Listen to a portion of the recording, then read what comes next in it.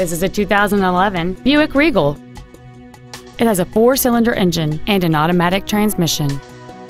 Its top features include a sunroof with a sunshield, heated seats, a navigation system, a premium sound system, leather seats, an active suspension system, aluminum wheels, a low tire pressure indicator, air conditioning with automatic climate control, and an anti-theft protection system.